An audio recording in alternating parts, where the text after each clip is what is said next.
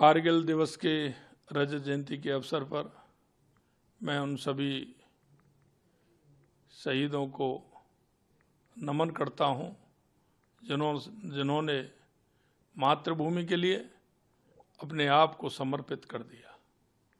देश के यशस्वी प्रधानमंत्री नरेंद्र मोदी जी ने अग्निवीरों के माध्यम से उन सभी ऐसे योद्धा जो समय, समर्पण और ईमानदारी से काम करने वाले हैं, हमारी राजस्थान की सरकार ने भी उन सभी को पुलिस विभाग में, जेल प्रहरी के रूप में, वन रक्षक के रूप में, राजस्थान की सरकार ने उनको आरक्षण का प्रावधान रखा है। ऐसे अग्निवीरों को सेवा का मौका मिलेगा। और वो आगे काम करेंगे।